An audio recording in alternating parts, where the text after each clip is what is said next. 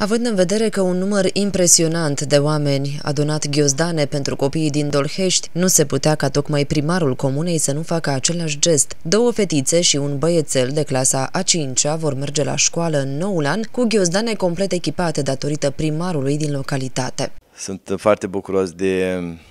reușita acestui proiect al dumneavoastră și vreau să vă spun că școala dolheșteană oferă un buchet imens de mulțumiri dumneavoastră celor de la televiziunea intermedia, dar și celor de la filiala județeană a organizației Salvați Copii pentru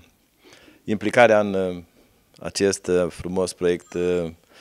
Clopoțelul sună pentru toți copiii. De asemenea, în numele comunității pe care o reprezint, țin să vă mulțumesc în mod deosebit pentru înaltul civic, de spirit civic și umanitar de care ați dat dovadă și pentru generozitatea și consecvența cu care ați susținut acest proiect. Uh, nu în ultimul rând, vreau să mulțumesc tuturor celor care, prin bunăvoința dânșilor, a fost posibil achiziționarea acestui număr mare, mare de ghiozdane, ghiozdane care vor ajunge la copiii comunei noastre care chiar au nevoie de ele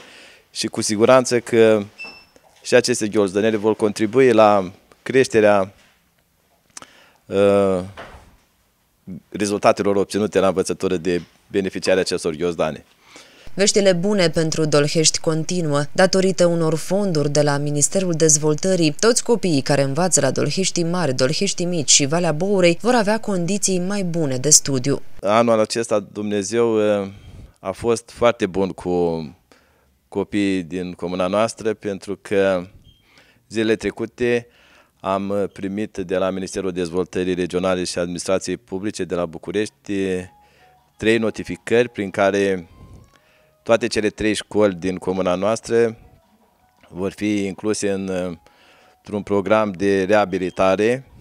în vederea obținerii tuturor autorizațiilor necesare funcționării. Uh, vreau să vă spun, profit de această ocazie și vă spun că valoarea investiției la care valoarea investiției ajunge undeva la 27 de miliarde, 270 de mii de lei vechi, 100 uh, de mii la școala din Dorești Mici, 900 de mii la școala din Dorești Mari și 800 de mii la școala din Valea Bore. Deci, dacă coroborăm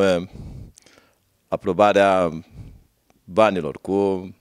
giozdănele care vin din uh, partea dumneavoastră, cred că în perioada imediat următoare va crește gradul calității învățământului dorheștean.